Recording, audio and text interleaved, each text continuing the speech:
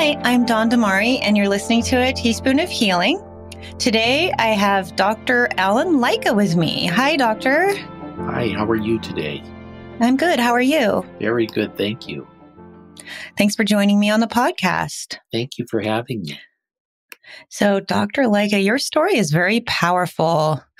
You're, you still are, and you were a top cosmetic physician and you went through a life changing experience. So, c- could you describe your journey to our listeners? Sure, let me go through it for you and I'll tell you the story. I, I was at the top of my career in 2003. I was walking with my wife in Disneyland, and my wife turned to me and said, What's wrong with you, hun? You know, Dawn, for once in my life, I was taken aback. I hadn't said anything wrong. I hadn't done anything wrong. I hadn't even thunk anything wrong. But she persisted, What's wrong with you, hun? I said, What do you mean? I don't think there's anything wrong with me. She said, Listen to your foot. I said, What do you mean, listen to my foot? That's a funny thing. And she said, Well, listen to it. And my right foot had suddenly and mysteriously developed a right foot drop. You know, your brain is designed on so that when you're walking, your foot lifts up. But my foot was no longer lifting up. It was slapping on the pavement with each step that I was taking. And with that, my foot just wasn't working properly. My wife said, Did you have a stroke? I said, Dear, you're a doctor. I'm a doctor. Um, if I had a stroke, I'd be lying on the pavement now saying something incomprehensible. And she said, Well, when you get back, you better get this checked out. Well, Dawn, when your spouse says that, what do you do? Well, you definitely do what they say. yes, you should do what you say if you know what's good for you. yes. Certainly, that's what I did. I saw hundreds of doctors, and they did every test known to man. They did CAT scans, they did brain scans, they did MRIs, they did scan scans. And you know what they found at the end of the day, Dawn? what did they find? They found absolutely nothing. And when the doctor Wow. finds absolutely nothing, they do more tests and more tests. I think they invented some tests just to try and figure some things out. And, you know, there was nothing to be found. So at the end of this, the consensus was they were going to send me to a neurologist. A neurologist is the brain doctor, the guy who knows all Mhm. the pieces. And so I went to see this neurologist. He was a world class expert. I walked in and I said, Hi. He said, Hi, you better be sitting down when I tell you this. I said, Why? I've got a dropped right foot. He said, No, you don't. You have ALS, Lou Gehrig's disease.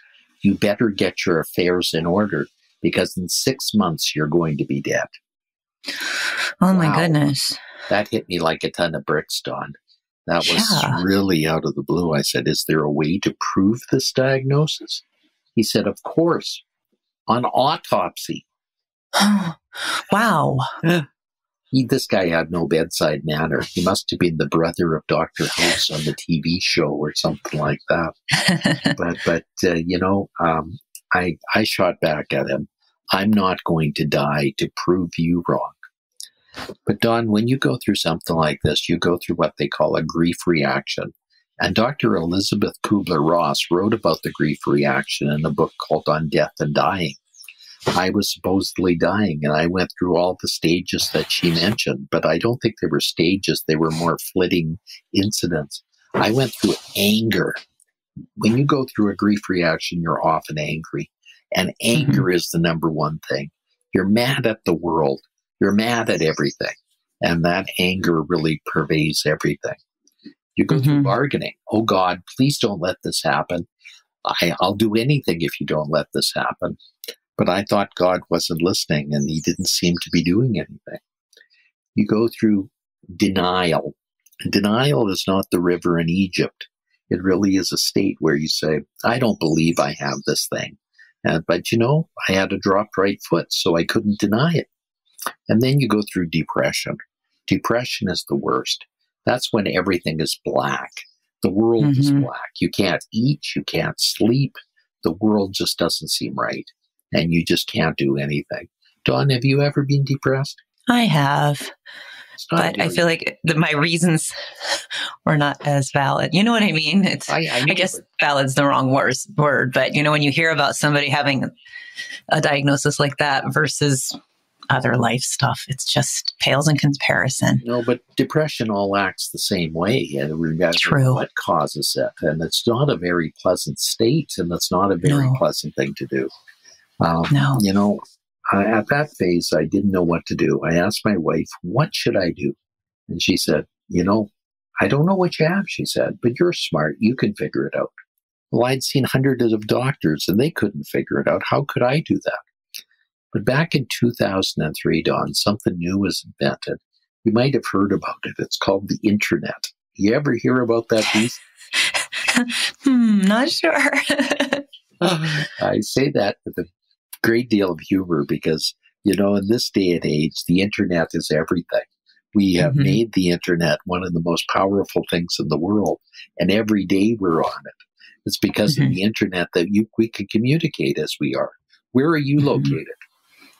I am located about an hour south of Los Angeles, California. Yeah, here I am in Edmonton, Alberta, Canada. I'm at my lake nice. cottage, and yet we can communicate very nicely by the internet, which is a yes. beautiful thing. Without the internet, we couldn't do anything.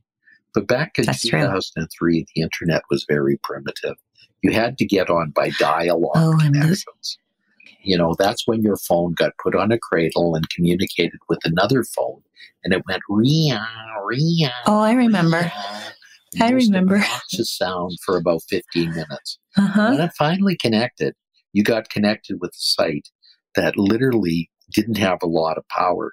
You know, our computers mm-hmm. back then didn't have a lot of power and a lot of memory. No. So we no, they didn't use languages like DOS and things like uh-huh. that to communicate.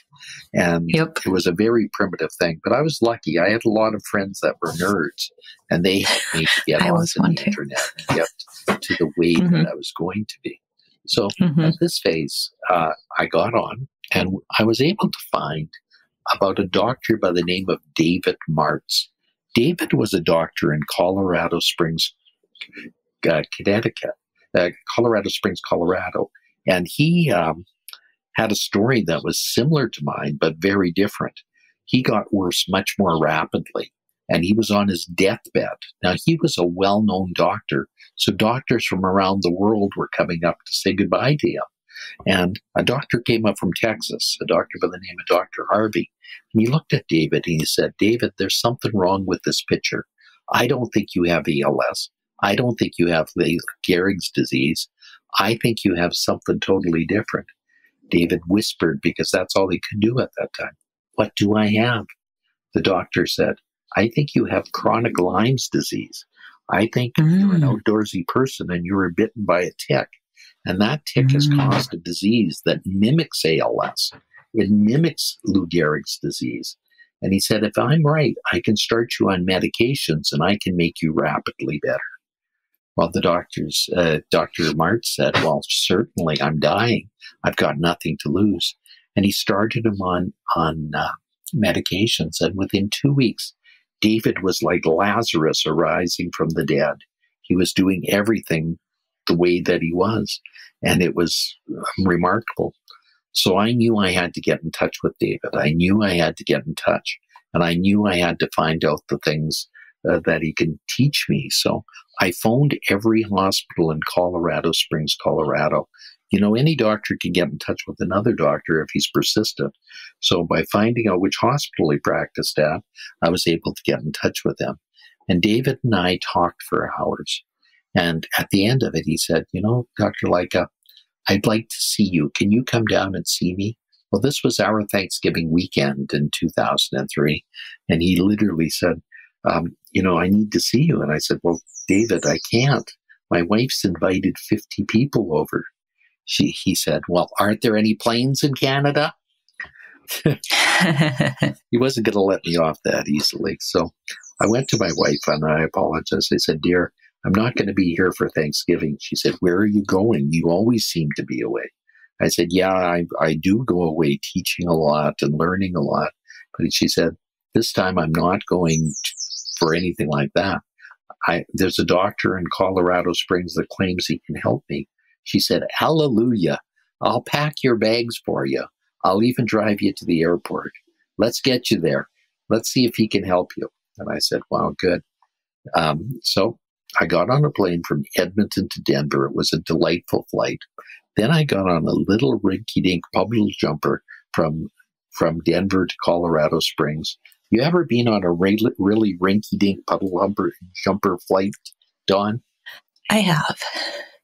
And uh, I don't enjoy those. Yeah, well, yeah, this one was yeah. ultimately the worst flight I'd ever been on because at the end of the day, the air comes off the desert and it causes turbulence. And turbulence mm-hmm. causes all sorts of problems.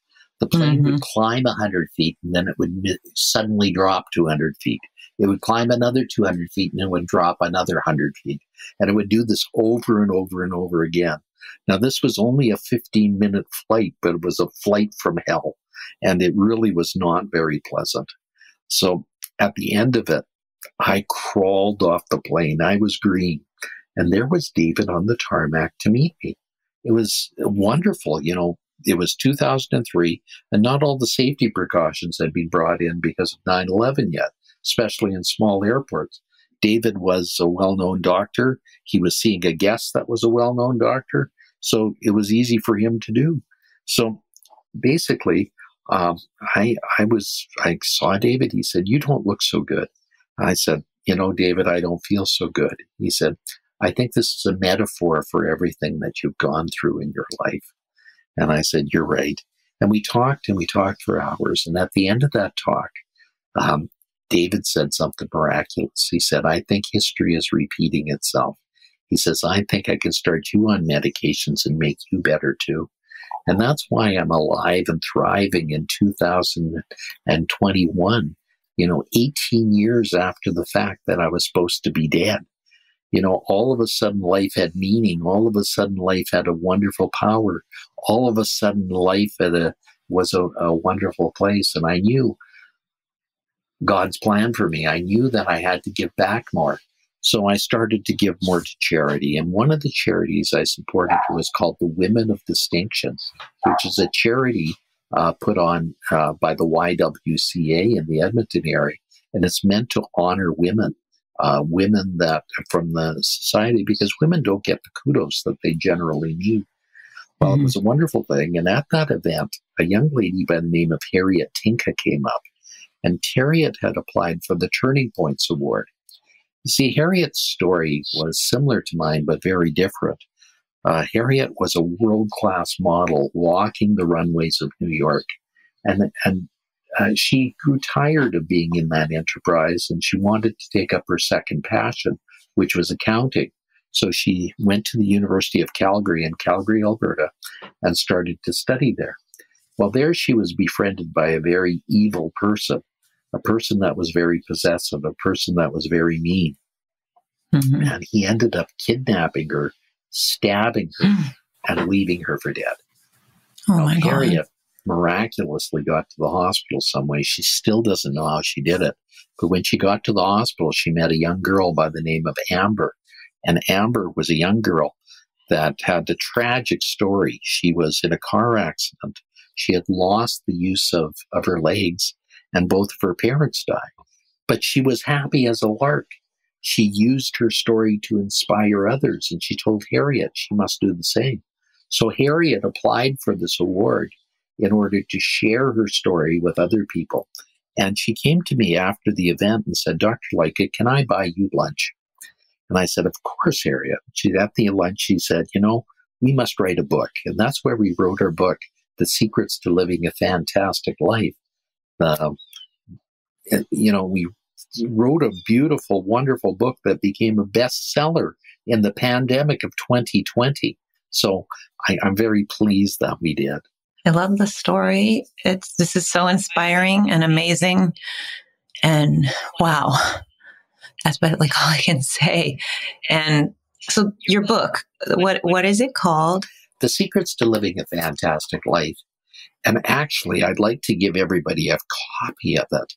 They can get a digital copy by going to the following site secretsbook.now forward slash site and there they can get a free digital copy. Secretsbook.now forward slash, forward slash dot site, S I T E, and everybody can get a free book.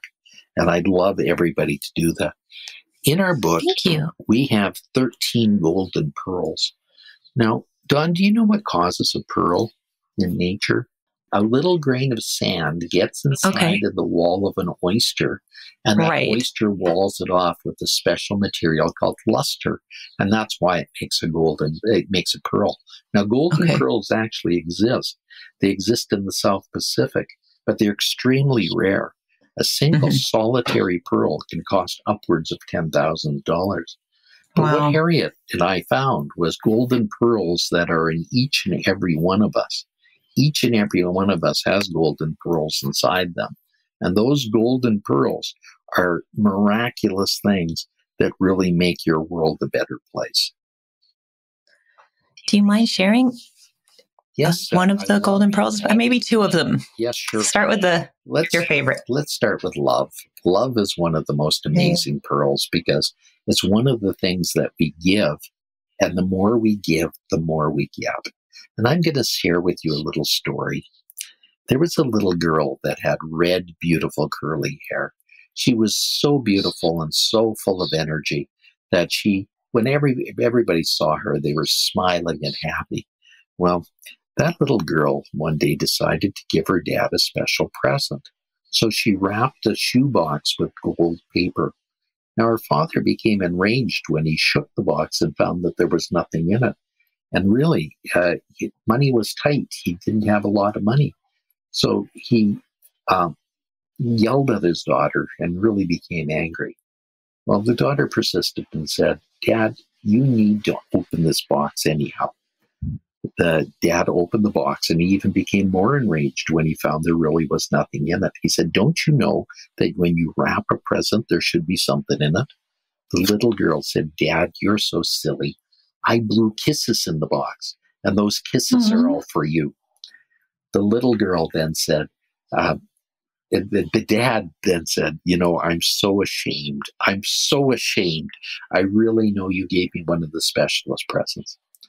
Well, a short time later, the dad was heartbroken because the little girl died in a tragic car accident. So he My kept God. the shoebox under his bed. Oh, Every now and again, he'd bring it out and he'd feel the girl's special kisses. He'd feel the girl on his lap giggling while he opened the shoebox. Well, eventually, the dad died of a broken heart. He went up to St. He went up to heaven, and there was Peter at the golden gates. And there was Peter saying to, to the fellow, he said, I'll let you in if you give me a special present. Well, the dad gave him the empty shoebox, and Peter said, Well, enter, my friend. You have given me the best gift of all. It's the gift of love, and it's overwhelming. Inside, he was reunited with his little girl, and that little girl was uh, bouncing and saying, Hi, Dad, good to see you. Dad said, I missed you. The little girl said, Why? I never left you. When I died, God made me into an angel. And when you opened the shoebox, I gave you little kisses. I was on your lap, giggling and telling you stories. Well, the dad's uh, was just overwhelmed, and he said, "This is the most beautiful thing of all, the gift of love." See, each one of our, our, our chapters, each one of our golden pearls has a little story in it, Dawn, and that's one of the stories that opens and makes people welcome. And I just love that story. That's why I love to share it with you. I love that story too. That's beautiful. And you're right. It's it's a it's a priceless gift. I love that story about the dad and his daughter. Even it was very tragic at the end, but it's very beautiful. Now, do you have one more pearl you can share with our Sure. listeners? We don't want to give them all away. I, the last one of my favorites is the story of enthusiasm, and it's it's really um, uh, once there was a carpenter by the name of Fred, and Fred was tired. He had worked for the same company for forty years, and he decided to retire. So he went to his boss and he said, "Boss, I'm quitting. I just can't do this anymore." The boss said, "Well, geez, I don't know what to do." He said, "Can you just do one more thing for me before you leave?" And Fred said, Of course, I'll do anything for you. I've loved this job. It's the only job I've ever had. Well, then uh, the boss said, Can you build me one more house? He said, You're my master carpenter. Only you have the skills to do that. Well, Fred said, Of course. And he was a little begrudging at it because he really didn't have the heart to do it. So he did the job but he dragged his ass to work. In the old days, he used to do everything to the nines. He used to do super, superior workmanship. He used to do everything beautiful. Um, but this job, he did with very shoddy workmanship, and he barely got the job done. But at the end of the job, a miracle happened, and um, the house passed inspection. So he went back to his boss and he said, Boss, I'm done. Uh, here's the keys to the house. I'm gone. He said, Don't be so fast, Fred. We're going to have a little party. So they popped the champagne. They had the caviar. Uh, the boss was overjoyed, and he, everybody was thrilled that Fred was moving on to something he really wanted to do. The boss said, Let's have a little speech.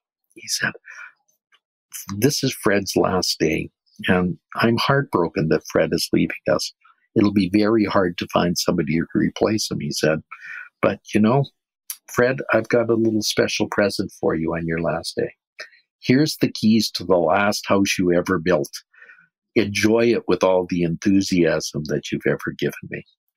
Now, the reason I tell you that story, Dawn, is enthusiasm is not a Monday thing. It's not a Friday thing. It's something you got to carry to the game every day to make the world mm-hmm. a beautiful place. And if you do, that enthusiasm is the game changer that'll make the world a better place. I love that. Beautiful. And thank you for sharing it. Well, every now, one of our story, every one of our chapters has a little story about that. Get a copy of the book because that's how you will find a, another world. And you know, we've all gone through a very difficult time right now. We've yeah. gone through COVID, which has hurt a lot of people and caused a lot of dissent and problems in the world. But you know, this is one of the seeds, one of the pearls that people can use to grow from that and, and move forward. And that you can get at secretsbook.now forward slash site. And we'd love to share it with you. I love that. Now, how, what advice do you have for people who are coming out of well, either coming out of COVID? I don't. Who nobody knows how long this will last, so I don't really like to use that word people, a lot of people have lost their enthusiasm for life, lost their enthusiasm for trying new things. How, how can people get that back? You know, it's easy. It's it's baby steps. And one of the things I, I think people have to realize is they need to be grateful for all the things they have. Mm-hmm. So one of the things I always encourage people to do is write a gratitude journal. Write down th- three things that you're grateful for every day well, today I was going to be on your show, your teaspoon of healing. And I said, geez, this is something that I'm really grateful for because I get to share my story with more people. Mm-hmm. And if I can change just one of them by my little inspiration that I'm doing, the world's going to be better. You know, take the stories of others and be grateful that you didn't have ALS or Lou Gehrig's disease or chronic Lyme's disease that I had. Yep. Be grateful that somebody didn't kidnap you, stab you, and leave yep. you for dead. Be grateful mm-hmm. that you have all the things that you do. You know, the poorest mm-hmm. person in North America has more than the than some of the richest people in Malaysia. You know, it's mm-hmm. it's amazing what we have in this life and the things that we are given and mm-hmm. you just have to do that. And I challenge everybody to do something today for their neighbor that they wouldn't regularly do. You know, if you like to bake, well, bake some cookies and give a dozen cookies to your neighbor. Or even just talk to them over their fence because very few people even know their neighbors in this day and age.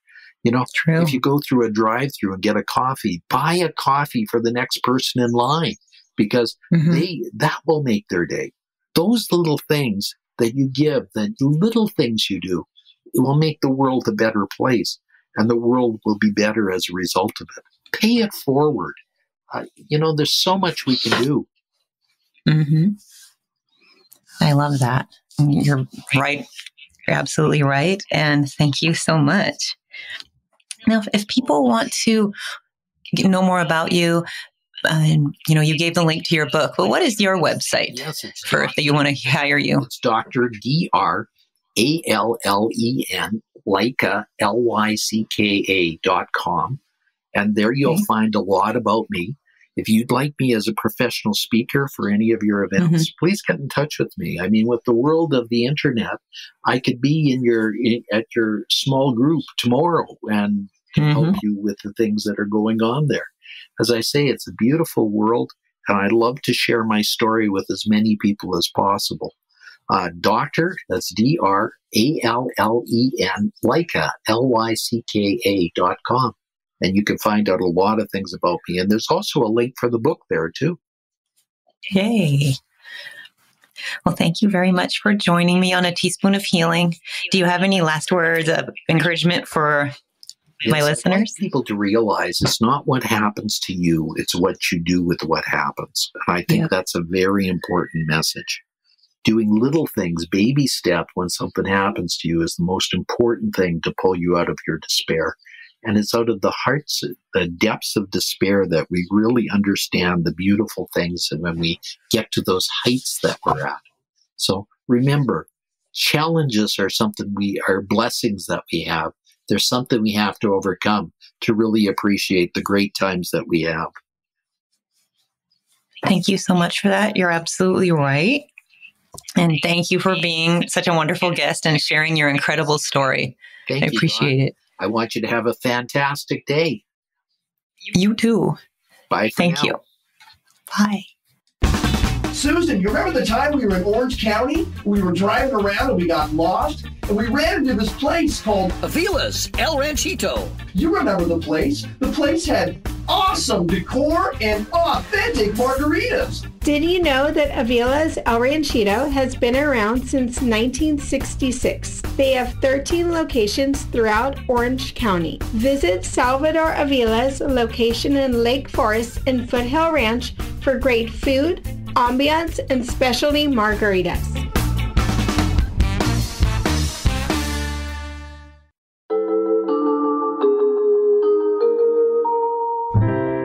This podcast is for informational purposes only and does not constitute medical advice. Please consult a physician or other health professional before undertaking changes in lifestyle or wellness habits. The author claims no responsibility to any person or entity for any liability, loss, or damage caused or alleged to be caused directly or indirectly as a result of the use, application, or interpretation of the information presented herein.